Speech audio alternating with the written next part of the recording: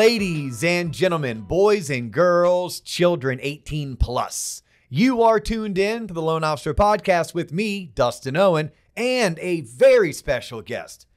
Originally from Southern California, today he rides in Puerto Rico. He is the president and CEO of Sun West Mortgage. He is the founder and creator of Angel AI. He is my new friend, Pavan Agarwal. Pavan, welcome to the Loan Officer Podcast. Hey, Dustin, this is amazing. And I love the energy. It's, this is phenomenal. Yeah, we have to bring it. You know, like we're two old mortgage dudes. Mortgage can be boring. Our goal is to create episodes that are like edutaining, right? It's going to educate you, it's going to entertain you, and we try to take the mundane and put a little bit of spunk behind it. So that's what we're going to do today, right? Yeah, I love it. And I'm, I guarantee I'm a lot older than you are. Yeah. I, you know what? I did a little research, um, and I'll tell you, you look great for your age. Well, Absolutely fantastic. But I saw when you graduated college, you're like, damn, damn, I need to move to Puerto Rico. it's that tropical air and fresh seawater. That's, you know, Is that what it is? that's where it is. And the Fountain of Youth was there. That's where Ponce de Leon landed first. Yeah, you know what's funny? My friends up in St. Augustine, Florida, because we're in Orlando, Florida today, they say that's where the Fountain of Youth actually resides, is in St. Augustine, because Ponce, after he landed in, in, in the Caribbean, Puerto Rico, Bahamas, he then made his way north and then landed again in St. Augustine. But you obviously found the Fountain of Youth. Exactly. Yeah, no, I love it. Um, and yeah, you're no slouch. Like Sun West Mortgage, y'all been cranking along for what, 40 plus years now? 43.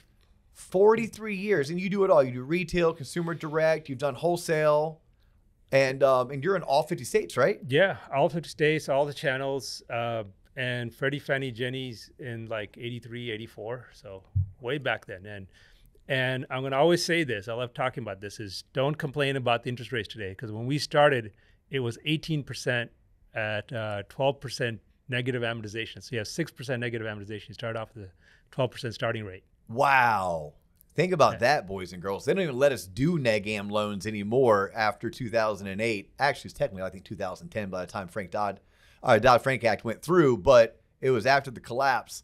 Yeah 18% rates and we are complaining about 8% rates. And actually after the bond rally today uh, looks like hey maybe christmas came early. Yeah, we, maybe. let's hope. There's been a, there's been a number of false yes. false starts on this rally. Yeah, well, we all talked about May 10th. We just didn't know it was May 10th of 2024 uh, or 25. Who knows? Only time will tell. Only time will tell. So you you flew in. Well, you drove up from Miami Yes, I was in Fort Lauderdale um, this morning. this morning on a TV show. Nice. What TV show? Gosh, I don't even. One what what one of the local TV one, of the, shows. one of the local stations. Yes. Okay. Yes. Very cool. You're making your way to Dallas next. Um, Dallas next for the uh, North American Blockchain Summit, which is going to be really exciting. So, so Says you. says me. Is it free booze? uh, probably. You know. Okay, I'll come. Yeah, you had me at free booze. Well, we got it's, it's got an amazing lineup. We got Vivek Ramaswamy, got RFK Jr., Ted Cruz, and, and a bunch of other people up there. Uh, Because you had some big names talking. Yeah, yes. You know those dudes don't know crap about blockchain though. uh, you know, but but they're politicians, so they're good at sounding as if they do. Oh, perfect. Perfect. yeah, no. Blockchain excites me in the manner of like I understand what it will do, what it can do, and the importance of the chain and the the quick, safe, secure transferring of data and information. But other than that, like I'm the type of guy that I'm the polar opposite of you. I get frustrated turning a computer on. Right? You know how to probably code and you sit down as a software engineer with a mortgage background, and I get lost just turning on the computer. Uh, the way that I fix computers, I throw them. That's what I do. So you're going to the blockchain uh, convention in Dallas. I'm glad you're excited. Um, I'm excited about what we're going to get into today. Like, why were you on that TV show this morning? What did they want you to talk about? They had lots of basic educational question uh, as to what is AI, what is the impact of AI to the consumer, and the number one question is, is it the Terminator? Is it going to destroy all of us? Uh, and there's so much fear mongering going on about AI, and that wasn't th- that's the whole point. It was an educational Okay. session. And that's what you and I are going to talk about today. And Yeah. we're also going to get into Angel AI because Angel AI is your product that you have created for the benefit ultimately of the consumer, but really of the mortgage loan originator, of the mortgage branch of the mortgage company. and you're offering this product for is it free 99? Totally free, not even 99. No, Free zero free. zero. Free zero zero. I stole that from my buddy Amir. My buddy Amir likes to travel the country speaking, and uh, he likes to give things away. He's like, and it's just free ninety nine, but I love yours better, Pavan. You're like, no, mine's free dot zero zero. Yeah. So loan officers, we're going to talk about AI. We're going to talk about AI in the mortgage industry, consumers, realtors, home sellers. Like, listen up, college students. I was just at University of Central Florida talking to their College of Business, learning. I was speaking to one of the deans, learning about a fintech minor that they now offer, or a master's in fintech that they're thinking about rolling out. And we're going to pick your brain as the SME, as the subject matter expert of AI, very high level, but more specifically, AI in the home buying process or AI in mortgage. I want you to answer some of those questions like, hey, is this the death of the human race? Artificial intelligence is like, are, are my grandkids going to be marrying robots? Um, what does that look like? And then more specifically, how can we start leveraging and adopting AI? Because here's one thing I have learned in my life, Pavan. I didn't adopt the internet and email quick enough. Right? Looking back, I wish I knew what Amazon was before everyone else knew what Amazon was. I wish I knew what YouTube was when my best friend at the time, rest in peace, Sean Jeffries, but Sean had a YouTube channel and the year was like 2004. And I thought he was just batshit crazy. I'm like, what are you doing posting videos of you and your daughter playing the guitar and piano? Like, looking back, I'm like, oh, I wish I was going to be adopt or adapting and leveraging some of these social medias. So what I've learned, I'm not going to do that with AI. I refuse to do that with AI. I'm already been I've already tinkering with Chat GPT, and we're having you on today, so so so we can chat about this. So let me ask you, Shmi, where do you want to start? Well, I want to start with that's exactly the reason I'm here. That's the reason I'm flying around all over the country and talking to everybody is because, and especially the mortgage community, and say, hey, wake up. If you don't wake up, it's kind of, it's this real literally I'm doing a public public service to the mortgage community and loan originators. Wake up. If you don't, you're going to get left behind. Right? And this is not going to go away. You know, I still remember in the 90s, you, t- you brought up Amazon and people were like, no way, Amazon's going to, who wants to hit a button and wait for the thing to arrive? I won't go to Walmart and buy it. But look at us today, right? And look at Amazon today. It- it's it- not wait a couple days. It's like wait a couple hours. Exactly. Yeah. Exactly. So, so those, you know, Amazon solved the delivery problem and it got better and better at it. Okay. So AI solves the delivery problem for mortgages. Um, and quite frankly, for anything that requires manual paper pushing. Let's face it, mortgage the mortgage loan origination process beginning and end is, is you're pushing paper. Now you go from pushing physical paper. In the 80s, we had manila files. You remember those things? yes. Right. Now it's it's paper on on your screen as a PDF, but it's still the same thing. Mhm. Right? We're still paper pushing. So it eliminates that. It puts it's a robotic manufacturing as opposed to human manufacturing. So it's as disruptive to the financial services industry. And I'm talking about financial services as a whole, not just mortgages, banking, everything else. Like bank tellers. Um, bank tellers, I mean, well, they were already displaced by ATMs, right? Yes. Yeah, and, and online banking systems, right? But banking in the sense that all kinds of bank financial transactions, anytime a bank has to make a decision, whether it's going to lend you, uh, approve you for a credit card or lend you money to, uh, to borrow for an auto loan or whatever, all of those things can be handled in the same way that we're handling mortgages now. Because if you can solve the mortgage problem, right? If you can, if I can, I create an AI that is a magnificent personal assistant for a loan officer and just takes care of everything that a loan officer would normally do by hand. And you know how complex and regulated the mortgage industry is. If I can do that for mortgage loan officers, I could certainly do that for a bank branch manager. It's a lot easier for a bank branch manager to manage an incoming deposit customer than it is to actually, you know, a bank can can take your money. It's easier for them to take your money than it is for them to give you money. Okay. That's that's, that's the, uh, uh, the the the paradox of our Yeah. our system. I guess here are my questions on AI in general. So, um, you know, there's companies out there push button get mortgage, Uh-huh. and yeah, a traditionalist, let's call me that, would be like, okay, push button get mortgage, but what if that's the wrong mortgage? What if that mortgage doesn't match your financial needs, wants, and goals? Like, yes, you qualify for it, and yes, you'll be able to close on a home purchase because of it. But what if actually taking an interest rate that was half a percent higher, getting a lender credit to pay all your closing costs would have been the the better solution? Or what if a higher interest rate with no monthly mortgage insurance would have been the better solution? Or what if actually not putting 20% down, but putting 10% down, using the extra 10% so that when you bought the home, you could do the new bathroom, the new floors, and the new screen enclosure like you anticipated. But I was able to explain to you that that was better than you going to Home Depot and taking out a $30,000 consumer credit card at 18.99%. So I'm asking you because, as a traditionalist, let's call me the traditional loan officer, the advisor.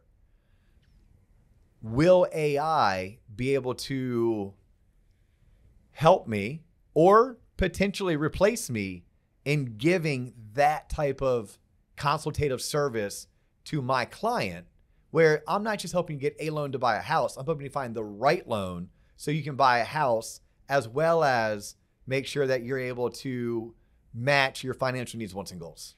That's a fantastic question. So here's the, thing that the AI can never do. Right? It, it cannot replace the relationship and the understanding that a loan officer gains with the customer. Okay. So remember, an AI is only as good as the data you give it. So if I, if you don't build a cus- relationship with a customer and understand that the customer needs thirty thousand dollars to to fix up or buy furniture or whatever, or has this other need or this other need, right?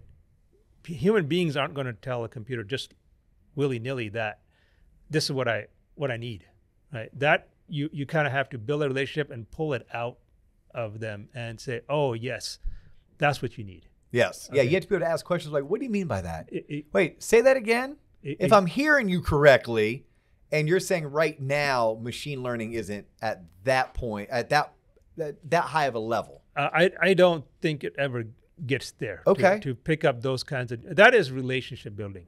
That that I don't I don't see it ever getting to that point. But but once you get the information, and this is where I tell loan officers is like you gotta rechange your why, right?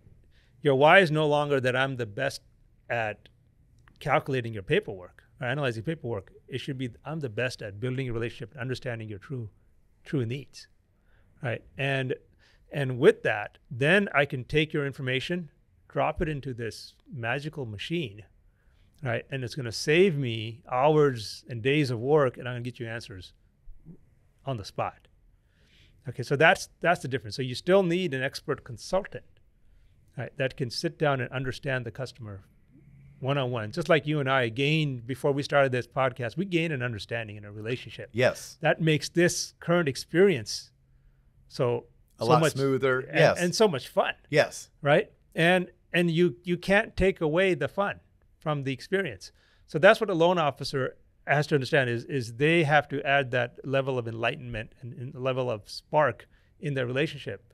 And then you get the full information. Then you take that information and you drop it in the AI let it do the rest. Okay so then you can focus on what we're doing here. You finish that with one client then you go to the next client and you focus on the same thing with that client and so on and so on as opposed to taking a loan app me and you right now taking a loan app and then saying okay i got to pause for an hour or two and analyze all this paperwork and prep everything perfectly for my for my assistant to take it over right now you just take the information drop it in next one Yeah, I I like where you're going with this. Like I like how you're painting the future of the mortgage industry, especially the more the modern mortgage loan originator, where it's like, no, we know that we need the modern mortgage loan originator to be a much better advisor than they've ever been. We know they have to give better service. We know they also have to do a much better job of building relationships in their local communities so that they can generate the leads that's going to be necessary. But you're saying, hey, we can leverage technology. I don't necessarily need you to be the best technician when it comes to gathering paperwork, scouring that bank statement, scouring that income doc, coming up with the the DTI, the liabilities, the income. It's like, no, that'll be there. That'll be done for you. We can utilize machines and machine learning for that. Maybe those machines and machine machine learning can even give reps and warrants to your employer to deliver that loan to Fannie and Freddie without all the risk of repurchases or buybacks. And you can use that time, Mr. or Mrs. Loan Officer, A, to go get more leads, B, to serve more clients. By the way, y'all, you may have to. Like, we don't know what's on the other end of this correction that our industry is going through, but I do know this loan sizes have doubled and the commission rates have stayed the same over the past eight years. And at some point, you're not doing twice the work, but you're getting paid twice the money. But your company and every seven out of 10 companies are losing money. There may come a time that you're going to be asked to make less percentage, same dollar amount, but less percentage. At which point, if you want to make more money, you're going to have to be able to do more loans. You can do more loans if you're leveraging technology such as Angel AI. Like that's what I'm hearing you say. That's exactly what I'm saying, and you said it so magically. I love the way you. You can hire me as your spokesman. Yeah, exactly. I'm free 99. Right.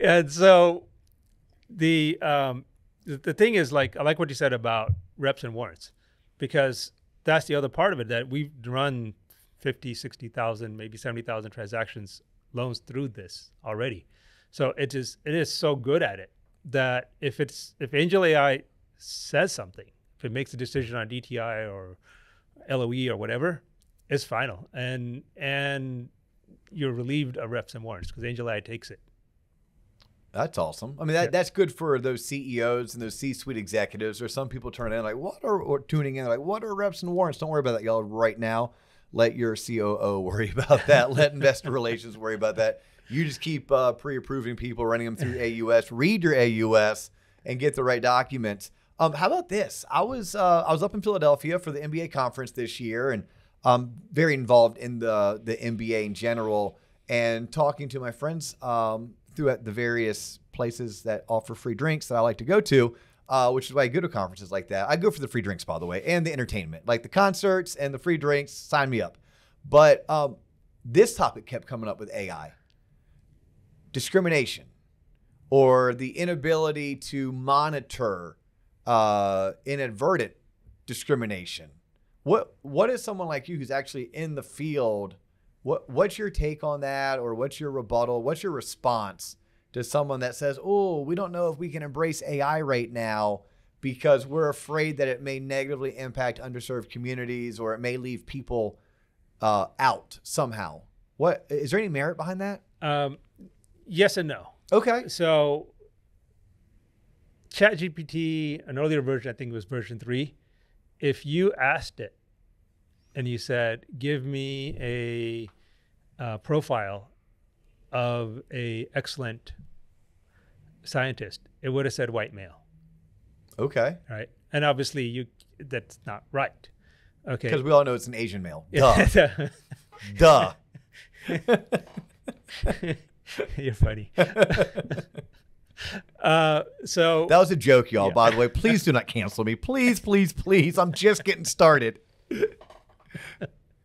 Right. So th- that's the problem with that. It was the challenge was that the data that it was fed, it was just fed bad data. Yeah. Okay. So now the um, so the, the you you fix that problem by if you train the AI correctly. Okay. So if you train the AI on the guidelines and you give it the proper data that matches the guidelines, okay, then it can it can give you the right decision consistently. Okay. So what we what we did on fair lending is because the process is so automated, we actually improve fair lending. So for example, what you said earlier was you still have to read the DU. Mm-hmm. But with Angel AI, you don't. You don't even run the DU. It runs the DU. It runs the LP. It figures out which way is the least conditions, and then it and then it reads the conditions and it figures out what to ask. Interesting. Okay, and then when when the documents come in, it uh, it reads the documents, right, and it makes a decision whether the document satisfies the condition or not. All based on how you programmed it. Uh, yes, on how it's been trained. Yeah. Right. Kind of so so what I heard you say, I learned this as a rookie loan originator in 2004, garbage in, garbage out. Version 3 of ChatGPT, if it had garbage in, then its result or its it its answers would wouldn't be the most accurate because it didn't have the right data or didn't have enough data. But you're saying with AI, if we supply it with the right data and a lot of it, it'll do its job and it'll do its job better because it won't have bias. Correct. Because at that point, it truly is playing within the guidelines, which that makes perfect sense. And that was actually a counter argument. My business partner, the mortgage company, countered that because I came back from the conference. I was sharing him, sharing with him the the nuggets and the tips and and what I learned and the conversations that we all were having. And I shared that about AI, and he just kind of said, "Look, I don't know a whole lot about AI, but that seems like it def- it's it's anti what AI would stand for. You just did a more eloquent uh, uh, uh, job of explaining why his original thought was accurate, which is no, if AI is used appropriately, you would think that this would benefit um, eliminating bias. Th- This would help more people obtain home ownership, not less, because it would be taking away anything that could be perceived, whether it's redlining or whether it's a, you know advert or or blatant um, discrimination. Takes it away question for you because you mentioned it's going to run DU. So now my my my nerd, my LO nerd brain is is just ding ding ding ding ding going off. But like, what happens in the uh, does it is it smart enough that it's like, ooh, wait a minute, hmm, if I run DU on this self-employed borrower and I have to average two years of income, they're not going to qualify. But Freddie has a rule that because they've owned their business for greater than five years, I can run LPA, at which point I can use most recent one year tax return. And that's higher income, therefore they would qualify. Is AI or the AI that you're developing, is it that smart yet? Or how soon until it is that smart? And the short answer is yes. It's already that smart. Yes, and and and you have to think about computers differently. It's not that they're smart, right? It's just that they have the computing power to try every possible path, right? So they're going to try all the different paths until it finds the the the, the shortest, least cost route. They do it in like 30 seconds. It- it- I do it in 30 minutes. Right. Or You- three hours. Right, right, right. Okay. Yeah. So you, you have to understand the rules, and you intuitively and you figure it out. Okay. Right. A computer just brute force it. They just run all the paths and then say, okay, here's here's the best solution, and and that's that's how they do it, right? So, you know, it would it would it would most of the time, and I have to think a little bit more exactly how I would execute the example you gave, but usually it would you would give it the situation, it run both DU and LP, and it'll look at the it'll look at the conditions, it'll analyze it, and it'll say, okay, this is the least cost path, and and then go down that that route. And then it would also run the pricing because sometimes there's there's different pricing on Freddie execution versus Fannie execution. It would look at the pricing and it would and it has to calculate that into it and say, okay, I'm going to get this path. Fannie might be better pricing, but I got to get more documents, and mm. Freddie might be worse pricing. I got to get get less documents, and and I'm not poking at Freddie or Fannie either way. right? Correct. A- Yeah, no, I mean, right, at right. the end of the day, Yeah, that these, yeah, these are mortgage-backed securities that we have to deliver into, and. You have different appetites on different days. Yeah. Some days I want Italian food, some days uh, I want Mexican, Yeah, right? And yeah. some days Fannie really wants loans, some days Freddie really really wants loans. Yeah, yeah. So, so I'm not saying Yeah. better pricing or Freddie's better pricing or anything like that. Just an example. So the point is that it will try all the different paths and it'll come back to you and say, here's here's what I figured out. And then you can always and and, and that's the beauty of, of this this kind of technology is you can always tell it. You can say, Did you think about this? Have you tried this one out? And it could say, Yes, I did, or it could say, Let me go try that.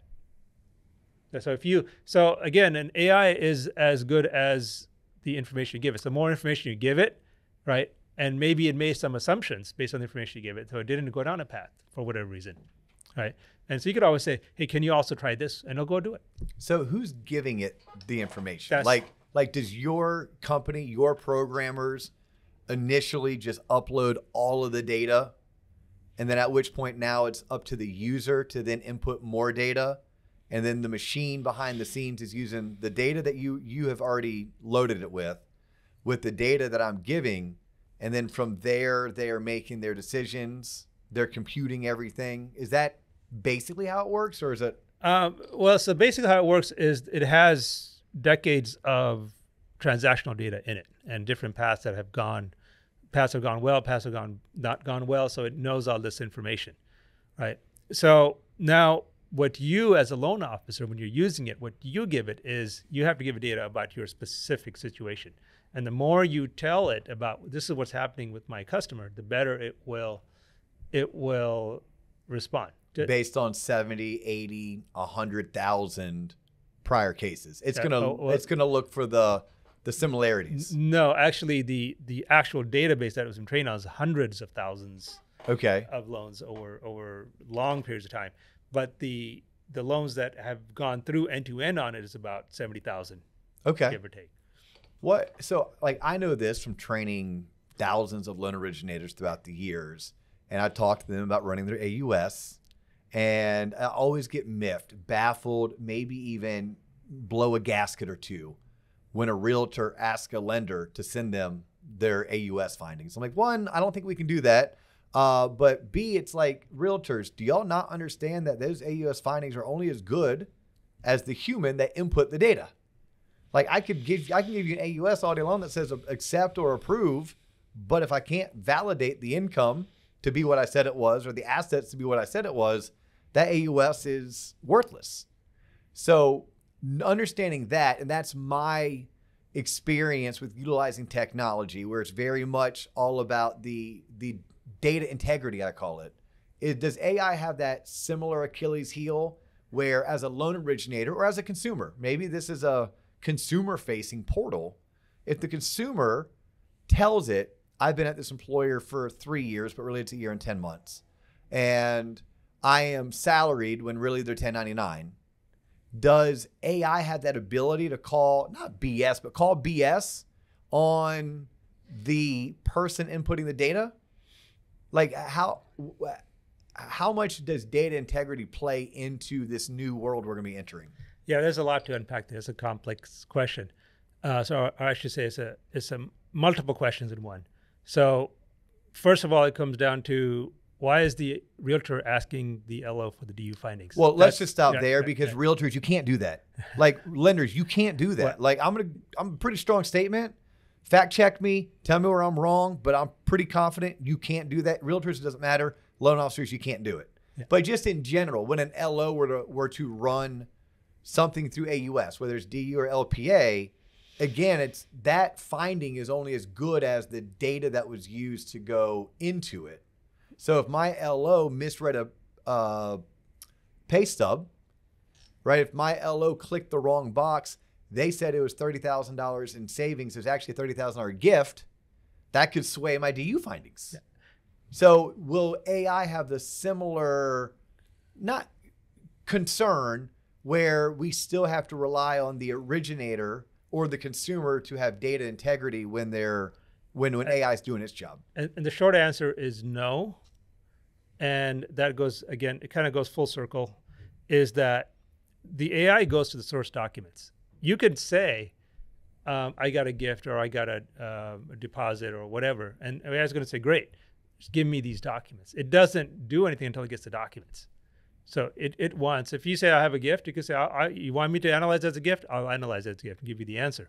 But it's not the answer isn't isn't final until you give me the documents that support Okay. the gift or, or if you say uh, i'm going to give you $30000 um, from savings it's going to say wonderful give me the bank statement Okay. or whatever else is savings so, so the the the so the ai can't make the mistake because it reads the document Okay. Okay, now, so- and I'm, I'm assuming AI is tied into the work number, and you're utilizing probably partnerships with with technology similar to whatever Finicity offers, or any of those. You know, I can go out and and grab your asset statements. I can go out and grab your income, your W twos. I can go to the IRS and grab your tax transcripts. I'm assuming AI is doing that that same thing behind yes, the scenes yes yes for for when for when and where it's available. yes Obviously, not always available, and heck, not always accurate depending on who the employer is. Right? We need the employer to report properly to the work number so that the work number can then report back to us appropriately, so our technologies will work. Um, okay, but I think I'm picking up what you're putting down. It, you're saying that if, like, like, well, I guess what would happen if if I said I have hundred thousand dollars in the bank, but you can't source it in my bank, AI is going to come back and say, well, you're qualified as long as you can provide me with these documents. R- And the document may be a bank statement that has hundred thousand dollars in it. But then you get the bank statement that has hundred thousand dollars in it, and there's a fifty thousand dollar large deposit that you now can't source. AI is going to say, I need you to source this $50,000 deposit. And then you go source it, and they're like, oh, it's a credit card advance. Well, sorry, we're dead. Exactly. Would AI ever be able to say, I need you to source this deposit, and please understand, if if the deposit was, and it starts listing cash, uh, borrowed funds, credit card advance, what have you, it's it's a non-eligible source of funds. Like, is, is AI there? Um, I, I it does do that. Okay. And we've tuned it up and down on the amount of information it gives up front. Because sometimes you say too much, people get yeah. they gloss over, and there's like so much to read. So it, there's a fine balance. So in, you know, our engineers, really our business people who, who we deal with consumers and loan officers every day, we, we we're constantly adjusting that that that needle to what is the right amount. Because if you say, give me a, give me your give me your uh, source of funds, right? Give me your bank statement, and then we list, but make sure it doesn't have all these things. Now someone's reading three paragraphs, they're going to think, oh, this is too hard, and they're going to throw their hands up and go away. So in a way, because this is going to follow, um, let me go into my next question. If I'm a mortgage processor, mortgage underwriter, mortgage closer, how concerned am I about the viability of my career moving forward? Uh, you should be looking to change into sales, and that's what, and, and frankly, that's what we've done. yeah. right? I, I mean, we at Sun West, right? And and people are going to be surprised when they hear this that we don't have any of those positions, right? And the underwriters we have wonderful, brilliant underwriters who've been with us forever, and they got retrained to be data scientists. Okay. So they're purely data engineers, and we train them how to do that and how to feed the AI so that AI gets smarter and smarter. Okay. Okay, so so that's you're basically the future is two paths. You're, you're going to be going into engineering, or you're going to go into relationship building. Right. That is the future of all the the workplace. Yeah. I mean, I was uh, the oh oh wow. I, am not just I'm not just talking about mortgage companies. Not I'm just talk- mortgage. Okay. I'm talking the the world with AI five years from now is sales, relationship building, or engineering. okay. Th- There's nothing in between. We're going to end on that. Like like no, meaning we're not ending the show right now. I want to put a bow on mortgage, and then I want to go into our last chapter, which is what you just stated, the five years from now, speaking on a very holistic, large scale, not just one particular industry. So I would say for the mortgage processors and closers that are tuning in, if you're not close to retirement age, if you're looking for longevity in this industry, please understand your role going forward is going to be dealing specifically with a computer with an algorithm and and managing data input output uh, or you're going to have to get into customer service right? Some kind of a service you said sales but some kind of a concierge client success um, answering of questions friendly happy you give great phone like that's the type of role that it's going to be. But you're saying that's not just mortgage. You're saying we get to 2029 we're ready to enter the 2030s but was it the roaring oh the 30s of the 19s were rough. We don't want to repeat that. Um, but but when we get into the 30s ai is going to have taken our world like everything. Like you either are in sales service or you're in computing data engineering. Correct. does that mean I either go to school and get a communications degree, or I go to school and get a computer science degree, or can I still have a wide array of uh, post graduate coursework or post high school coursework, but ultimately I'm either going to be working with the machine or I'm going to be working with the humans. Yeah, I, would add, add a, I would add a third category there, which is creativity, art, right? Creative, creative art and design, creative writing. Okay, you know, there's all this talk about you know different kind of AI systems that produce all this wonderful art, but when you look at it, it's not real art. Yeah. Yeah, you can tell it's AI generated, and and it'll never be inspiring art. Okay, so the best example Because it lacks emotion. yeah, it, it, it just it lacks it lacks depth. Okay. Right. And and the best example I give is is if you go to ChatGPT um, before Angel AI came out and he said, "Give me a logo, design me a logo for an AI company," I guarantee you it would not be a ballerina. Okay. right? Yeah. Now there's enough data in it that it probably would come up with a ballerina or something like that. Okay. Why the ballerina? Yeah, that's, that's a good question. okay, so a, a, ballerina is, and if, if you look at the logo carefully, it's got like millions of lines that that put the logo in because that's millions of data points and code that's gone into it of training and years of training that goes into it. And a ballerina takes decades to master his or her um, craft, yeah. right? And, and and sport, right? And it's elegant. and it's elegant And it's powerful. And it's strong. and it's I mean, flexible. and it's flexible. Yes. I love it. Yeah, having a daughter who did dance for for 12 years and it started with a ballet base. Um, I have an appreciation for ballerinas. Now, don't get me wrong, I prefer to watch hip hop dancing.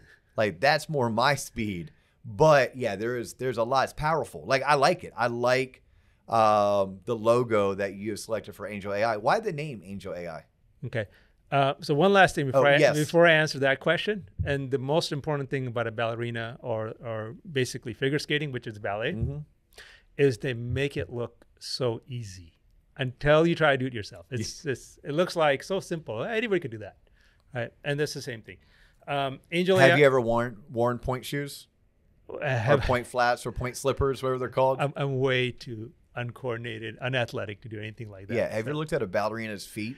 They're Yes. all jacked up. Yes. Yeah, because yes. they have wooden blocks that they they get up on their toes on the Yeah. wooden blocks, and it is very graceful and it's very hard to do. I've never tried it, but I've witnessed um, dozens of, of of teenage girls attempt to get on pointe, Yeah. and uh, those that do it well, they make it look effortless. Nonetheless, I digress.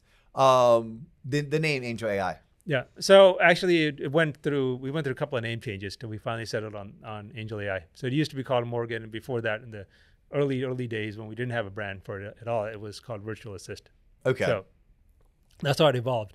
And Morgan was uh, short for mortgage magi- magician. okay. Okay. And then as as we talked about, you know, as the product expanded and it's like it's a personal assistant for everybody, not just for loan officers. It works for realtors and now we've got different different versions coming out for any industry. And we're like, okay, it doesn't work anymore. Morgan doesn't work.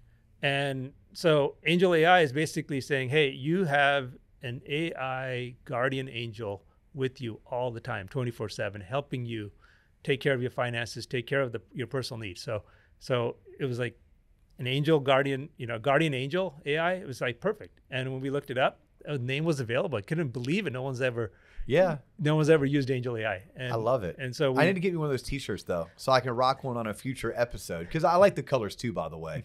Uh, those colors really work well. They look like um, I'm into uh, doing triathlons, and my kit, they're called kits, by the way, but my, my triathlon kit is very much the colors of your logo. Yeah, which you ought to see me with my pasty pale skin, my bald head, and I'm rocking like this pink and blue and orange out on the race course for four to six hours. That's a whole nother visual and episode that I won't make you go down. Um, I do want to circle back because I want to talk about the, the the whole five years from now. Um, but I have a couple more just basic questions because my curiosity is starting to take over. When did you start getting into AI? Like you as Pavan, like you were like, hey, this shit's the future. I got to get into this now. What year was that? that was 1985, 84. Well, get out of town. Yeah. The internet wasn't even around in 1985. Uh, actually, it was, but Yeah. Was it really? So 85, Yeah. you and Al Gore were hanging out and and you were creating the internet. no, I'm not going to take credit for creating the internet. Yeah, That I'm was, joking. uh, By the way, the Department of Defense who created the internet. Okay, you, you actually that I mean, of course you're correct, but yes, you were correct.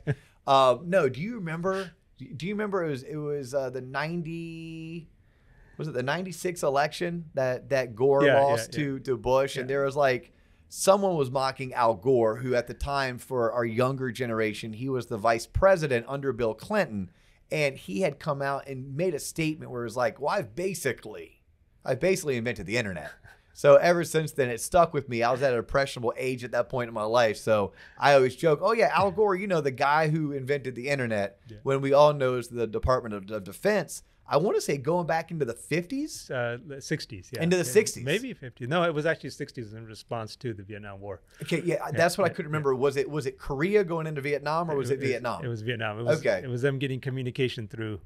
Yep. So it was 85. Yeah. So 85 is when the internet, and 85 is when the um, the super nerds like you, in a loving way, were like, yeah, there's going to be a, a time that robots take over. Yeah. These robots are going to be able to process information really quick. So you, it's been that long. It, it's So when ChatGPT came came about, you're like, oh, this is old news. uh, in a way. I mean, there's, there's a lot of novel stuff in ChatGPT, which is pretty exciting. Okay. Um, and I can geek out and go into that. Uh, but I think we'll lose our audience we would. that. We we 100% would. You say that for for Dallas. Yeah, you say that for for Dallas when uh, you and uh, Robert Kennedy are hanging out and having uh, a couple bourbons. Uh, you, you- can talk about uh, the the novelty aspect of ChatGPT. So then let's do this to put a bow on today's episode. Kind of walk me through. Spend the next two or three minutes walking me through what does my life look like in 2029. Well, I, I the best example is when you talked about you wanted one of these T-shirts. Yes. It's so simple. So all you have to do is ask Angel. So you go to askangel.ai and you, you just start chatting with her. You say, I want a t shirt. And she will deliver you one of these t shirts to you, your size and your, your address. Obviously, you give her, give her your address. So it is that simple. So that's actually when you, So so I'll be able to go to the grocery store and shop this way. yes. You Will, will there be robots in the aisles that will go and find? Because I like mini tater tots. I do not like the big tater tots.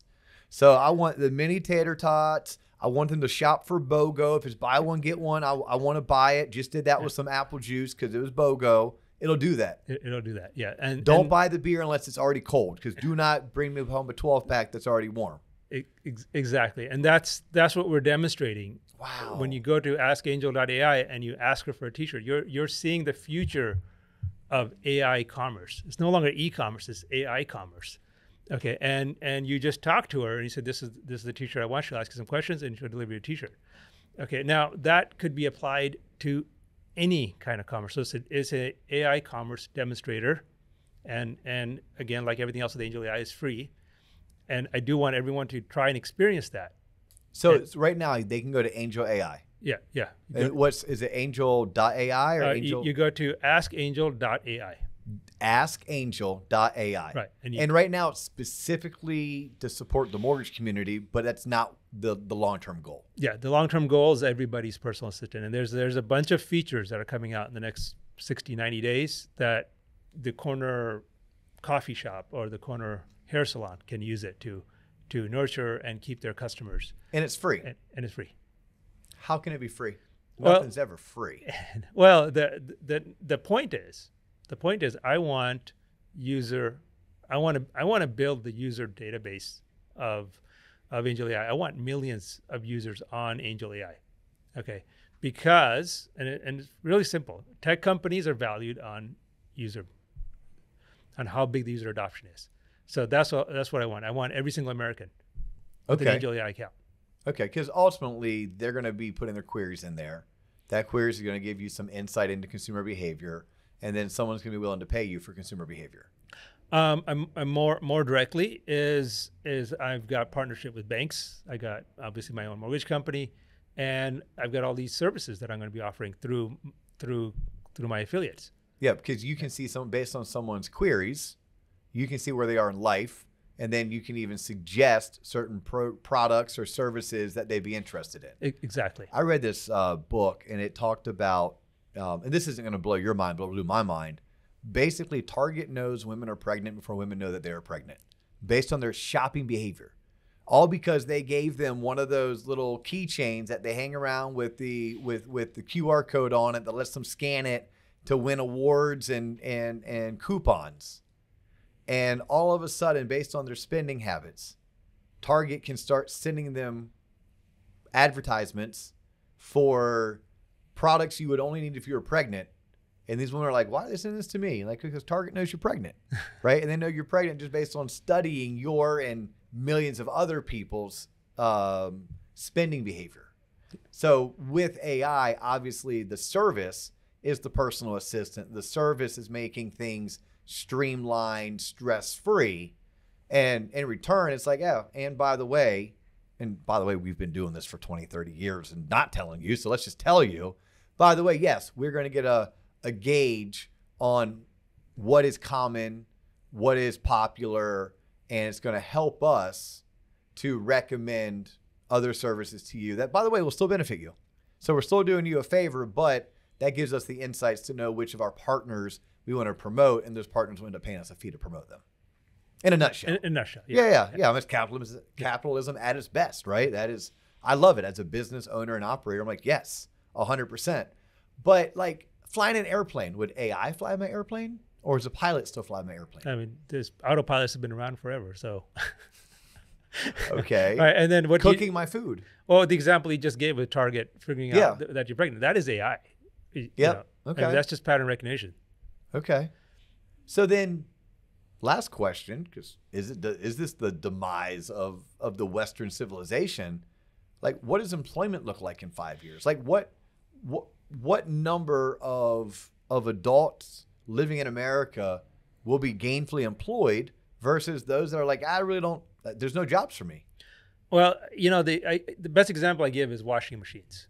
Okay, so before washing machines came out in the 50s, where every every household had a washing machine, you did you did your laundry and your and your dishes by hand, and this, so hours every day or hours many hours every week were just gone in household chores, right? And then you went and you spent the money on a washing machine and you saved up all the time. And did that take away some jobs? Yes. Right. So launder, launderers, laundering services and so forth got reduced, but freedom increased. Household freedom increased. That means more time was available to to work, to start business, to spend with your kids, education, so forth. Okay. So it is a challenge if if you have tools like AI only for the few. Okay, then there's a problem. If you if you keep it constrained to the big corporations and you don't democratize it down to everyone else, then yes, there is a big problem. And there will be a loss of jobs and nothing to replace it. Okay, and, and a few elites will benefit from it. However, if you get AI in the hands of everybody and everybody is saving time, that means everybody can take the time and reinvest in new skills and new new ideas and new businesses and, and new whatever. Okay. Then civilization increases. So perfect answer, by the way. And I have two final thoughts on that. Like you mentioned the analogy of people washing their clothes in their sink or in the tub by hand or using a laundry service. But then the advent of washing machines, well, kind of took that away. However, it then brought people who have to make washing machines. It then brought people who have to fix washing machines when they break. So, yes, I'm sure it wasn't a, a net neutral, right? I'm sure it wasn't a, oh, you know, we, we lost 100,000 jobs, we picked up 100,000, but it did create new industry with the, the and then that's not on top of the time savings and what can you do with this extra time of I can go get an education, I can become creative, and then does that creativity end up be becoming creating a product or service that our communities or our country needs? Um, but then my my real final thought is like y'all, this is coming. This has been coming since the 1960s, 1985 for Pavan. Like this is coming. So us putting our heads in the sand like that's just asinine. Like let's go ahead and open our eyes, let's start embracing it and let's welcome it so that we're not left behind. So it's it's not you're not the late adopter to this thing called Facebook, the late adopter to this thing called Amazon, the late adopter to this thing called YouTube, the late adopter to this thing called the internet or email or heck, I remember how resistant I was to get a damn smartphone. Well, I don't want email on my phone right? I mean that that was me. I learned from that lesson. I'm like, nah, at this point, it's going to come. It's going to be here. I might as well embrace it so that I can find ways that it can benefit me, can benefit my loved ones, it can benefit my clients, benefit my business. And you're offering that solution for free. Right? Yeah. Askangel.ai. Ask Angel. That's that's where you go to use it, and you can go to angelai.com to learn about it. There's lots of materials up there. And if people want to follow you, like, are, are you a uh, you a TikToker? Uh, are you I'm on Instagram? Mostly mostly on LinkedIn. mostly on LinkedIn. Yeah. yeah. Okay. Just just search my name on LinkedIn. It'll yep. come right It's up. P A V A N Yeah.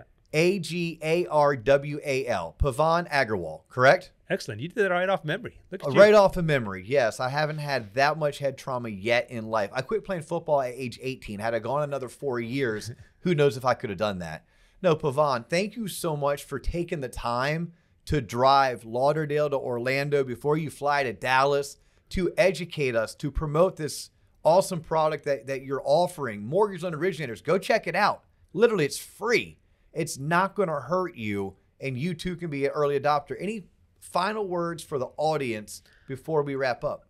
Um, yeah, you know, I get some criticism on you know the message that I gave earlier in this in this podcast about hey we don't have any closers and underwriters and so forth, and that the world is basically headed towards data engineers, creative people, and relationship people. And and uh, my response to that is, I'm helping you out. I'm telling you today what's actually happening. I, I- could I could keep it a secret and not talk about this stuff, and and then you're gonna be like a deer in the headlight when it does hit you. Yeah, like don't kill the messenger. Yeah, it, it- basically. Yeah. Uh, and look, the sooner you know, there's still time to to adjust and prepare and get trained and and, and move on. And and we've been doing that with our staff, and we've been training and and investing in that. Uh, it's a time where you need to stand up and say, I need to learn this, and ask your companies to invest in you and and start making the changes. And and right now, I mean, anywhere everybody can see how much trouble the mortgage industry is in, how much contraction there has been. Hey, it's a time to hit reset and say, look, this technology is coming anyways. The industry is going through a reset. Let's let's do this right. I love it. You are so on point. Um, I hope that our relationship doesn't end here. I hope this is the beginning of a beautiful thing. I look forward to myself dabbling in Angel AI, right? I, I look forward to continuing to promote your service, your free service to not just the mortgage community, but also all the clients that they serve. But right now, it's all the time that you and I have for this particular episode. So I'm going to go ahead and close it out the way that I typically do. Y'all, if you like what we're doing, do us a favor. Please share us, not once, not twice, but three times. You can watch us on YouTube. If you go to YouTube, make sure you subscribe. I love watching our subscribers just tick, tick, tick up. We are heading towards 20,000 subscribers on our way to 30. Spotify, Apple, give us a five star review. Share us with a friend, share us with a colleague, and keep tuning in. He's Pavan. I'm Dustin. You have just tuned in to the Loan Officer Podcast. That is all the time we have for you today, but we do look forward to catching you on the next episode. Peace.